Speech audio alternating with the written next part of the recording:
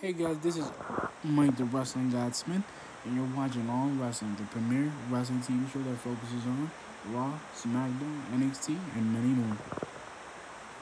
So, as you may know, guys, I just got finished watching Raw. So I'm gonna give you my breakdown of the Raw that I saw today.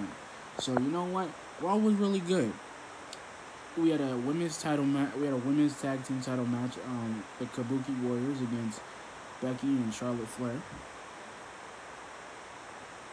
And I'm, I'm telling you, it was a really good match because I, I do like the the mist that Asuka has. I like the mist in the eyeliner. I do like the entrance because it's still a cool looking entrance. And you know what? The crowd was into the match. But I like that Shayna Baszler, like her, she came out, like she came out, she was looking, like she was, she was smiling at Kairi Sane and Asuka. How they changed and got their ruthless aggression, like this new aggressive streak in them.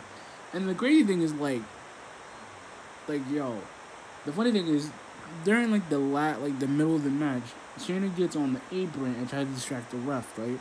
So Becky's still trying to get the ref to, to, to turn around and not get distracted. And Beck and Bayley comes out of nowhere because I didn't see her first. Because I'm like, who who has a white like a white shirt? Because she just had a white shirt on and some like and some pants and some joggers. So I'm like, yo, she just grabs, she just grabs Sonya, so um, Shayna Baszler off the apron. They start brawling, and Shayna, she thought that she was gonna get one up on Shayna, and Shayna just throws her into the barricade literally throws her into the barricade. No. She this is like no. She get they fight and then Becky gets pinned by Asuka with a roll up, which is the dirtiest thing I've ever seen her do. And she does that. And she just beat like and then Becky and, and, and Becky and and Shayna are staring each other down. Then Bayley comes out of nowhere and just just attacks Shayna. Then brings her out from the crowd, beats on her, and then and then and then Billy just and then Billy throws into the, the barricade, and I'm like, and I'm still wondering like her outfit was a white shirt and some Converse. Who's still wearing Converse in this in this century? Like I haven't seen no, I've never seen anybody wear Converse sneakers. I used to wear Converse. I didn't even know Converse was still hip. And the funny thing was, she got the mascara on because she's all happy and stuff and cool and junk and everything else. And I'm like, yo, and here's my thing, right? Like, and this is the thing too, and, and SmackDown think they always did matter because now that SmackDown gonna re, they retaliated, and then we had a um, and then we had a twenty four seven match. No, we had a Drew McIntyre match against Sin Cara, but that was a that was a squash match. Cause, Sin, cause Drew is relentless. He he is a he is a big guy for being six point seven. This dude two hundred like three hundred like three hundred fifty plus pounds. Like his brother was like beating the crap out of Sin Cara. Like he was kicking him and just knocking him out. Like he has those big, like he can give you those big chops. He can give you like an axe handle. And the funny thing is, he did he he does a um a power bomb to Sin Cara on the outside of the ring, and he was out. I thought he was gonna get like a count out, or like they were gonna stop the match because he was done. And then Drew brings Sin Cara back into the ring and he did the, the, the, the um the Claymore Claymore kick. I thought he was gonna do the the Glasgow Kiss because I like actually like that special more than the kick because it does a little bit more. And or do Future Shock because I wonder if he still has that special Future Shock.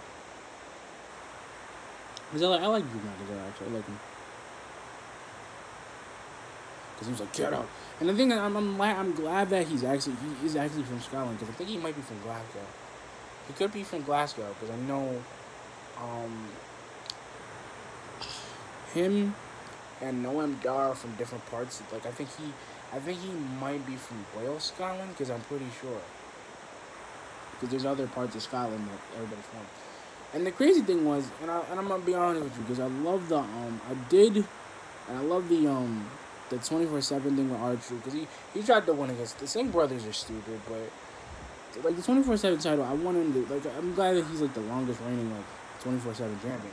Because the crazy thing, like he, they were chasing each other around the ring, so they go out the ring. They were fighting. They were like he was trying to get quick earlier, and then they go the twenty four seven match. I forgot it still goes on. It's like a false count anywhere match. So they're running around the ring, running around the locker rooms. And the Singh brothers go into the women's locker room. They start screaming, and then they, they yell, and he just and R-Truth just bangs on the door like, "Get them out of there! Get them out of there! Hey, like get them out of there!" And then they they run into it. They run into a door, not knowing that it's another locker room. And they turn on the sw- turn on the switch, and there's Eric Rowan, big and mean as can be. They're scared to crap. They I don't even know why would you lock the door. You would have. I would have. I would have ran out. I would have ran out, grabbed the title, and would have ran. And he just beats the crap out of him. He picks him up, throws him against the wall, throws him against the door, throws the couch, hit him with the, hit him with the couch, the um the couch.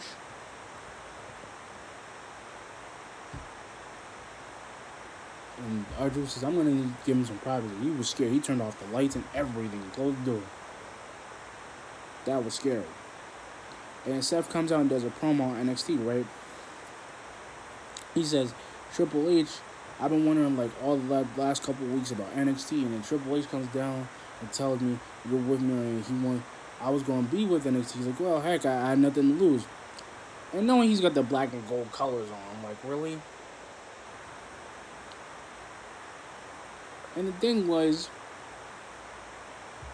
out of nowhere, you know, he says, if anybody, I want, I don't want to, I want to fight England. I want to fight England's best.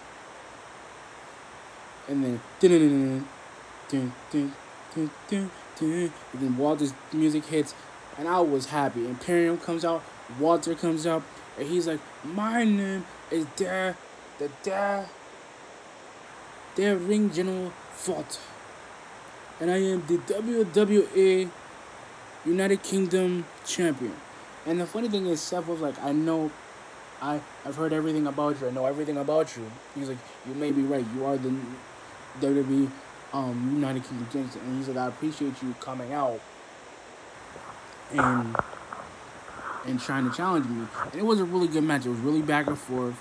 Walter, like Walt Imperium, and I love them. I love um, Fabian and uh, Fabian Aichner and Barthel. I love them both, and I love Wolf. I love Wolfgang. I still love him. I, I do. I mean, I mean Alexander, um, Alexander Wolf. I love him because he's really cool. I like him. I like that they're together. I like that they're all together, together, together. You know what I mean?